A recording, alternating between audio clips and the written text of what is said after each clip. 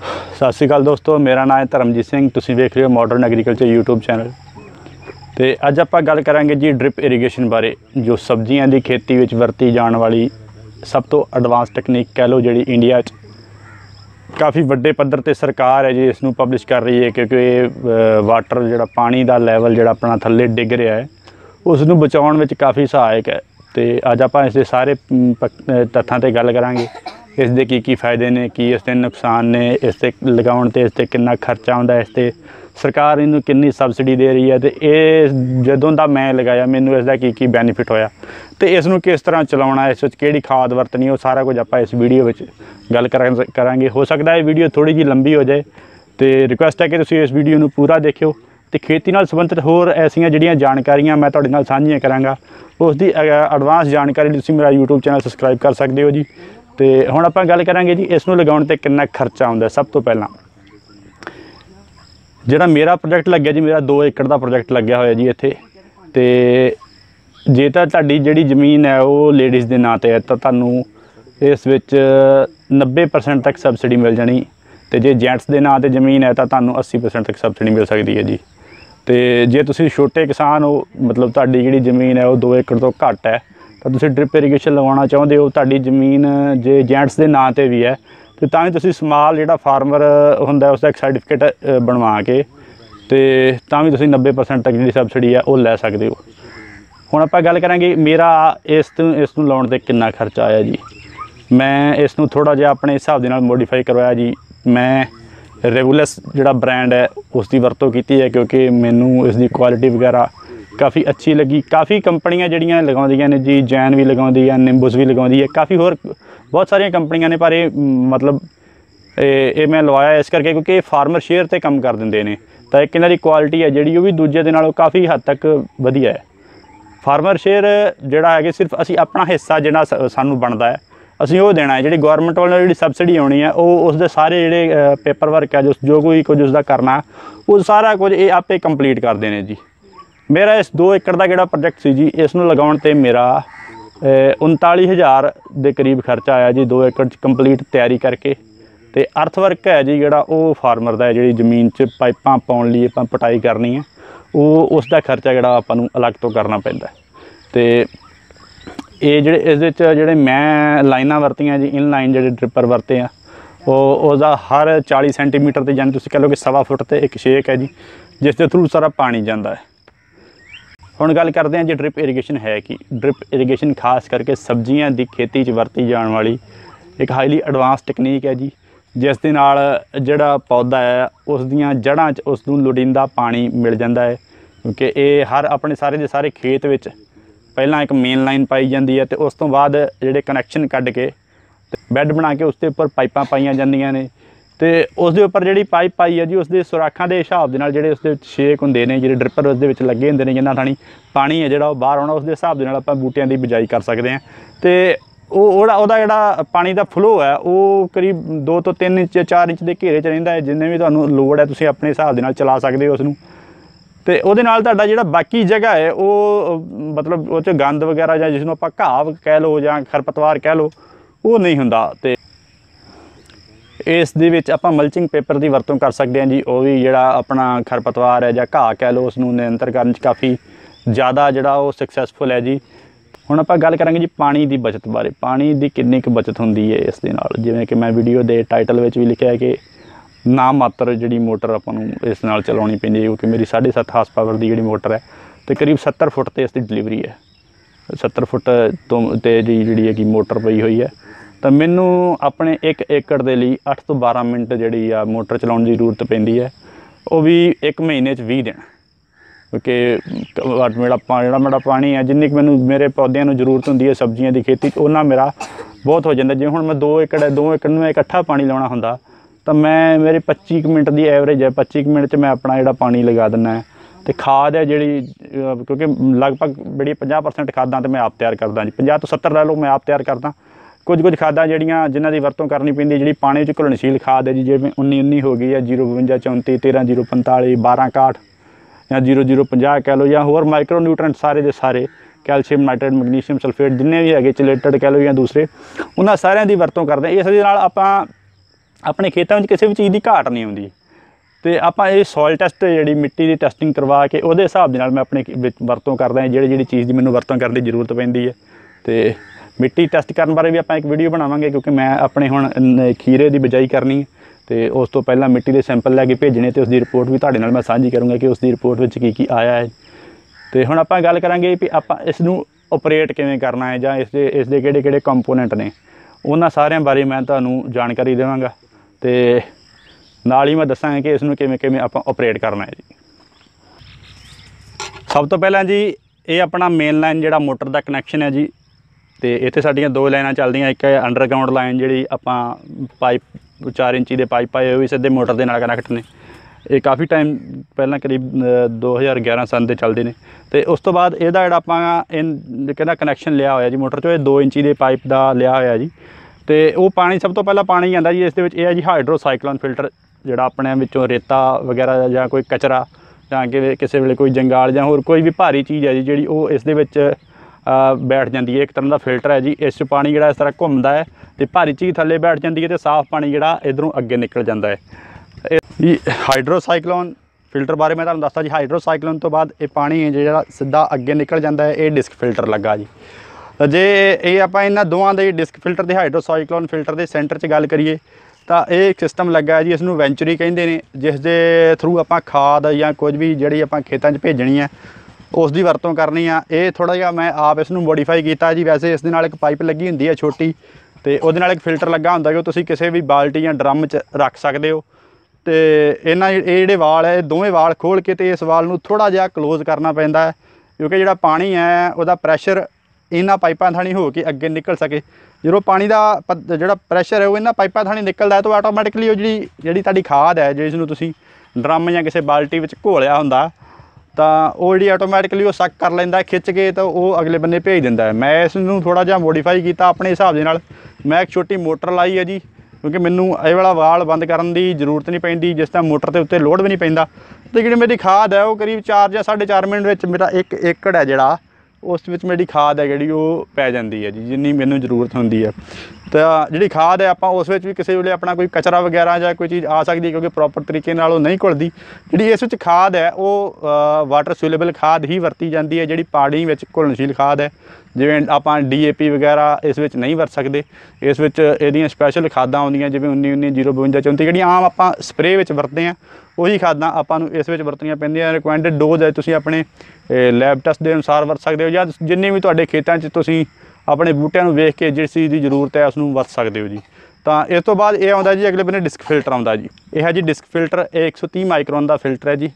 ਇਸ ਵਿੱਚ ਕਰੀਬ ਕਰੀਬ ਮ, 100 ਦੇ ਕਰੀਬ ਜਿਹੜੀਆਂ ਡਿਸਕਾਂ ਹੋਣਗੀਆਂ ਕਿਉਂਕਿ ਮੈਂ ਕਦੀ ਗਿਣੀਆਂ ਨਹੀਂ 100 ਤੋਂ ਵੱਧ ਹੀ ਹੋਣਗੀਆਂ 100 ਤੋਂ ਘੱਟ ਨਹੀਂ।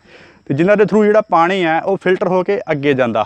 ਤੇ ਕੋਈ ਵੀ ਜਿਹੜਾ ਹਾਈਡਰੋਸਾਈਕਲੋਨ ਫਿਲਟਰ ਜੋ ਜਿਹੜਾ ਵੀ ਕਚਰਾ ਬਚ ਗਿਆ ਜਾਂ ਖਾਦ ਦੀ, ਖਾਦ ਨੂੰ ਘੋਲਦੇ ਵਕਤ ਜਿਹੜਾ ਵੀ ਆਪਣਾ ਕਚਰਾ ਰਹਿ ਗਿਆ ਕੁਝ ਜਾਂ ਕੁਝ ਵੀ, ਉਹ ਇਸ ਦੇ ਵਿੱਚ ਜੰਮ ਜਾਂਦਾ ਹੈ ਜੀ। ਇਸ ਨੂੰ ਆਪਾਂ ਮੈਂ, ਮੈਨੂੰ ਕਰੀਬ ਕਰੀਬ ਮਹੀਨੇ ਵਿੱਚ ਇੱਕ ਵਾਰ ਇਸ ਦੀ ਸਫ਼ਾਈ ਕਰਨ ਦੀ ਲੋੜ ਪੈਂਦੀ ਹੈ, ਜਿਸ ਤੇ 2 ਜਾਂ 4 ਮਿੰਟ ਲੱਗਦੇ ਨੇ। ਇਸ ਤੋਂ ਜ਼ਿਆਦਾ ਇਸ ਤੇ ਟਾਈਮ ਨਹੀਂ ਲੱਗਦਾ। ਇਸ ਵਿੱਚ ਸਭ ਤੋਂ ਇੰਪੋਰਟੈਂਟ ਹੈ ਜੀ ਜਿਹੜਾ ਉਹ ਹੈਗਾ ਜੀ ਪ੍ਰੈਸ਼ਰ ਗੇਜ ਮੈਂ ਇੱਥੇ ਲਾਈ ਹੈ ਕਿ ਜਿਹੜਾ ਮੇਰਾ ਪ੍ਰੈਸ਼ਰ ਆਊਟ ਹੋ ਰਿਹਾ, ਉਹ ਕਿੰਨਾ ਹੋ ਰਿਹਾ। ਜਿਹੜੇ ਇਹ ਵਾਲੇ ਪਾਈਪ ਹੈ ਜੀ, ਸਾਡੇ ਇਹ 1.5 ਕੇਜੀ ਤੱਕ ਦਾ ਪ੍ਰੈਸ਼ਰ ਚੱਲਦੇ ਨੇ। ਤਾਂ ਮਤਲਬ ਜੇ ਮੇਰਾ 1.5 ਕੇਜੀ ਤੱਕ ਪ੍ਰੈਸ਼ਰ ਹੈ, ਤਾਂ ਜਿਹੜਾ ਅਗਲੇ ਬੰਦੇ ਡਿਸਚਾਰਜ ਰੇਟ ਹੈ, ਉਹ 1 ਘੰਟੇ 'ਚ 2 ਲੀਟਰ ਪਾਣੀ ਇੱਕ ਬੂਟੇ ਨੂੰ ਮਿਲੇਗਾ ਜੀ। ਜਿਸ ਹਿਸਾਬ ਨਾਲ 1 ਏਕੜ ਦੀ ਮੈਂ ਗੱਲ ਕਰ ਰਿਹਾ 1.5 ਕੇਜੀ ਪ੍ਰੈਸ਼ਰ ਤੇ। ਤਾਂ ਮੈਂ ਥੋੜਾ ਜਿਹਾ ਪ੍ਰੈਸ਼ਰ ਕੰਟਰੋਲ ਕਰਨ ਲਈ ਪਾਣੀ, ਜੇ ਕਿਸੇ ਵੇਲੇ ਪ੍ਰੈਸ਼ਰ ਜ਼ਿਆਦਾ ਹੁੰਦਾ, ਤਾਂ ਉਸ ਨੂੰ ਬਾਈਪਾਸ ਵੀ ਕਰ ਦਿੰਦਾ। ਜਾਂ ਪ੍ਰੈਸ਼ਰ ਬਾਈਪਾਸ ਕਰਨ ਦੀ ਆਪਸ਼ਨ ਵੀ ਹੈਗੀ ਹੈ, ਜੇ ਤੁਹਾਡਾ ਮੋਟਰਾਂ ਦਾ ਪ੍ਰੈਸ਼ਰ ਜ਼ਿਆਦਾ ਹੈ ਤਾਂ ਤੁਸੀਂ ਉਸ ਨੂੰ ਘਟਾ ਵੀ ਸਕਦੇ ਹੋ। ਇਸ ਵਿੱਚ ਕੋਈ ਐਸੀ ਵੱਡੀ ਗੱਲ ਨਹੀਂ, ਕਿਉਂਕਿ ਇਸ ਵਿੱਚ ਸਾਰੀਆਂ ਇੰਸਟਰੂਮੈਂਟ ਦਿੱਤੇ ਹੋਏ ਆ ਕਿ ਆਪਾਂ ਪਾਣੀ ਨੂੰ ਕਿਵੇਂ ਕੰਟਰੋਲ ਕਰਨਾ, ਜਿਹੜਾ ਵਾਧਾ ਪਾਣੀ ਉਹ ਵੇਸਟ ਵੀ ਨਹੀਂ ਜਾਊਗਾ, ਫਿਰ ਤੋਂ ਤੁਸੀਂ ਆਪਣੀ ਬੋਰ ਵਿੱਚ ਸੁੱਟ ਸਕਦੇ ਹੋ ਉਸ ਨੂੰ ਇਹ ਐਸੀ ਕੋਈ ਦਿੱਕਤ ਨਹੀਂ ਹੈ ਕਿ ਸਾਡੀ ਮੋਟਰ ਵੱਡੀ ਹੈ, ਸਾਡੀ 7.5 ਹਸ ਪਾਵਰ ਦੀ ਮੋਟਰ ਹੈ। ਤਾਂ ਇਹ ਅੰਡਰ ਪ੍ਰੈਸ਼ਰ ਹੀ ਚੱਲਦੀ ਹੈ ਜੀ 1 ਏਕੜ ਦਾ ਵੀ ਅੰਡਰ ਪ੍ਰੈਸ਼ਰ ਚੱਲਦੀ ਹੈ ਤੇ 2 ਏਕੜ ਤੇ ਤਾਂ ਜਿਹੜਾ ਪ੍ਰੈਸ਼ਰ ਹੈ, ਉਹ 0.6 ਰਹਿ ਜਾਂਦਾ ਹੈ। ਲਗਭਗ ਇਸ ਨੂੰ 2 ਏਕੜ ਤੇ ਹੀ ਜ਼ਿਆਦਾਤਰ ਆਪਰੇਟ ਕਰਦਾ ਕਿਉਂਕਿ ਮੈਂ ਜਿਹੜੇ ਵੀ ਫਰਟੀਗੇਸ਼ਨ ਸਿਸਟਮ ਜਿਹੜਾ ਮੈਂ ਚਲਾਉਣਾ ਹੁੰਦਾ, ਜਿਹੜੀ ਮੈਂ ਖਾਦ ਵਗੈਰਾ ਚਲਾਉਣੀ ਹੁੰਦੀ, ਉਹ ਸਾਰੇ ਮੈਂ ਇੱਕ ਸਾਰ ਇਕੱਠੀ ਚਲਾਉਣਾ ਜੀ। ਹੁਣ ਮੈਂ ਤੁਹਾਨੂੰ ਫੀਲਡ 'ਚ ਜਾ ਕੇ ਇਸ ਬਾਰੇ ਥੋੜਾ ਜਿਹਾ ਦੱਸਾਂਗਾ ਜੀ ਕਿ ਕਿ ਮੇਨ ਲਾਈਨ ਇਸ ਦੀ ਕਿਵੇਂ ਪਈ ਹੋਈ ਹੈ ਜੀ। ਲੈਟਰਲ ਜਿਹੜੀਆਂ ਪਾਈਪਾਂ ਉਹ ਅਸੀਂ ਕਿਵੇਂ ਵਿਛਾਈਆਂ ਜਾਂ ਕਿਵੇਂ ਆਪਾਂ ਵਿਛਾਉਣੀਆਂ ਆ। ਤੇ ਇਸ ਨੂੰ ਚੱਲਦੀ ਦਾ ਵੀ ਚਲਾ ਕੇ ਵੀ ਤੁਹਾਨੂੰ ਥੋੜਾ ਜਿਹਾ ਵਿਖਾਵਾਂਗੇ। ਹੁਣ ਆਪਾਂ ਫੀਲਡ 'ਚ ਜਾਵਾਂਗੇ ਤੇ ਖੇਤਾਂ 'ਚ ਤੁਹਾਨੂੰ ਇਹ ਚੱਲਦੀ ਜਿਹੜੀ ਡ੍ਰਿਪ ਹੈ ਉਹ ਵਿਖਾਵਾਂਗੇ। ਠੀਕ ਹੈ ਜੀ। ਅਗਲੀ ਵੀਡੀਓ ਖੇਤਾਂ 'ਚ ਸ਼ੁਰੂ ਕਰਦੇ ਹਾਂ। ਇਹ ਹੈ ਜੀ, ਆਪਣੀ ਜਿਹੜੀ 1 ਏਕੜ ਦੀ ਵੱਟ ਹੈ ਜੀ। ਇਹਦੇ ਥੱਲੇ ਜਿਹੜੀ ਸਾਰੀ ਇੱਕ ਮੇਨ ਲਾਈਨ ਪਈ ਹੋਈ ਆ। ਉਸ ਚੋਂ ਅ, ਸੁਰਾਖ ਕਰਕੇ 16 mm ਦੀ 16 ਮਿਲੀਮੀਟਰ ਦੀ ਇੱਕ ਪਾਈਪ ਕੱਢੀ ਹੈ ਜੀ। ਤੇ ਬੇਸਿਕਲੀ ਇਸ ਜਗ੍ਹਾ ਤੇ ਇੱਕ ਜੁਆਇਨਰ ਲੱਗਦਾ ਜੀ ਜਿਹੜਾ ਇਹਨਾਂ ਦੋਵਾਂ ਪਾਈਪਾਂ ਨੂੰ ਇਹ ਜੋੜਦਾ ਹੈ ਜੀ। ਇਹ ਅਗਲੇ ਬੰਨੇ ਆਪਣੀ ਜਿਹੜੀ ਖੇਤਾਂ 'ਚ ਪਾਈਪ ਜਾਊਗੀ। ਤੇ ਇਹ ਮੈਂ ਇਸ ਤੇ ਇਸ ਜਗ੍ਹਾ ਤੇ ਕੋਕਵਾਲ ਲਾਏ ਹੋਏ ਜਨ ਕੋਕਵਾਲ ਕਹਿੰਦੇ ਜੀ ਇਹ 5-6 ਰੁਪਏ ਦਾ ਇੱਕ ਮਿਲ ਜਾਂਦਾ ਸਾਨੂੰ। ਇਹ ਵੈਸੇ ਮਿਲਦੇ ਆਪ ਲਾਉਣੇ ਪੈਂਦੇ ਜੀ ਇਹਦਾ ਖਰਚਾ ਐਕਸਟਰਾ ਇਸ ਨਾਲ ਇਹ ਹੈ ਜੀ, ਜਿਸ ਖੇਡ ਨੂੰ ਆਪਾਂ ਨੂੰ ਪਾਣੀ ਚਾਹੀਦਾ ਹੋਵੇ ਉਸ ਨੂੰ ਆਪਾਂ ਪਾਣੀ ਦੇ ਸਕਦੇ ਹਾਂ ਜਿਸ ਨੂੰ ਪਾਣੀ ਨਹੀਂ ਚਾਹੀਦਾ ਉਸ ਦਾ ਪਾਣੀ ਆਪਾਂ ਬੰਦ ਕਰ ਸਕਦੇ ਹਾਂ ਜੀ। ਤਾਂ ਇਹ 16 mm ਦੀ ਲਾਈਨ ਹੈ ਜੀ, ਇਸ ਵਿੱਚ ਕੋਈ ਸ਼ੇਕ ਨਹੀਂ ਹੈਗਾ। ਤੇ ਇਸ ਤੋਂ ਅੱਗੇ ਜਿਹੜੀ ਲਾਈਨ ਜਾਏਗੀ, ਸਾਰੇ ਖੇਤ ਦੀ ਜਿਹੜੀ ਲਾਈਨ ਜਾਏਗੀ, ਉਸ ਤੇ ਹਰ 40 ਸੈਂਟੀਮੀਟਰ ਤੇ ਇੱਕ ਛੋਟਾ ਜਿਹਾ ਸੁਰਾਖ ਹੈ ਜੀ, ਜਿਸ ਵਿੱਚ ਇੱਕ ਫਿਲਟਰ ਲੱਗਾ ਹੁੰਦਾ। ਕਿਉਂਕਿ ਇਸ ਫਿਲਟਰ ਲੱਗਣ ਦਾ ਮਕਸਦ ਇਹ ਹੈ, ਕਿਉਂਕਿ ਜਿੰਨਾ ਪਾਣੀ ਪਹਿਲੇ ਸ਼ੇਕ ਤੇ ਡਿਸਚਾਰਜ ਹੋ ਰਿਹਾ, ਜਿੰਨਾ ਪਹਿਲੇ ਬੂਟੇ ਨੂੰ ਪਾਣੀ ਮਿਲ ਰਿਹਾ, ਸਭ ਤੋਂ ਲਾਸਟ ਖੇਤ ਦੇ ਲਾਸਟ ਤੇ ਜਾਵਾਂਗੇ, ਤਾਂ ਵੀ ਉਨਾ ਹੀ ਪਾਣੀ ਮਿਲੂਗਾ।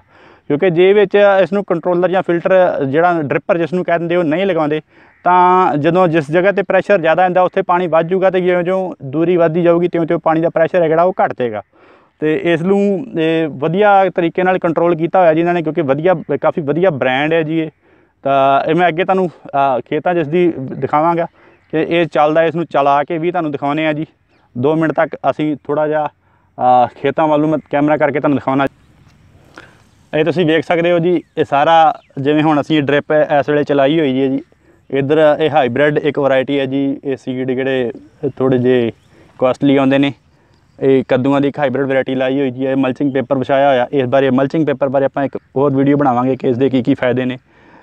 ਤੇ ਆ ਜਿਹੜੀ 16 mm ਦੀ ਆਪਣੀ ਲਾਈਨ ਹੈ ਡ੍ਰਿਪਰ ਹੈ, ਇਹ ਚੱਲਦਾ, ਇਹ ਮੈਂ ਵਿਖਾਵਾਂਗਾ ਜੀ। ਇਹ ਜਿੰਨੇ, ਜਿੰਨੀਆਂ ਬੂੰਦਾਂ ਇਧਰੋਂ ਡਿੱਗਣਗੀਆਂ, ਉਨੀਆਂ ਹੀ ਉਧਰੋਂ ਡਿੱਗਣਗੀਆਂ ਜੀ। ਇਸ ਦੇ ਇਹ ਤਾਂ ਇਹ ਅਸੀਂ ਇੱਕ, ਦੋ ਫਸਲਾਂ ਲੈਣੀਆਂ ਜੀ ਇੱਕ ਜਗ੍ਹਾ ਤੋਂ।